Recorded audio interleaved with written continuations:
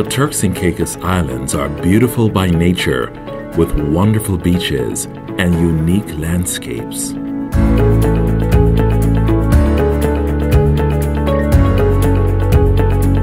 Unfortunately, this beautiful place can be destroyed because it is extremely vulnerable to diseases or competition from non native species.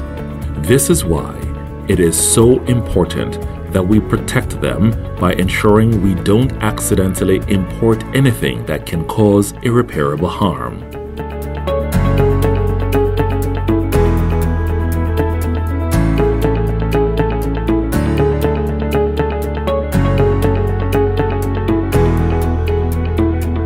Whether you are arriving by air or sea, you need to make the Department of Agriculture staff aware if you are carrying any plants, plant products, animal products, or live animals. These need to be inspected when you arrive, and some of them require you to have an import permit from the Department of Agriculture before entering the Turks and Caicos Islands. Items such as souvenirs and hiking equipment can also harbor pests. These biosecurity rules are legally binding and there may be serious fines to anybody found breaking the law.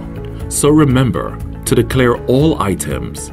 You are not only complying with the law, but also helping to keep Turks and Caicos beautiful by nature.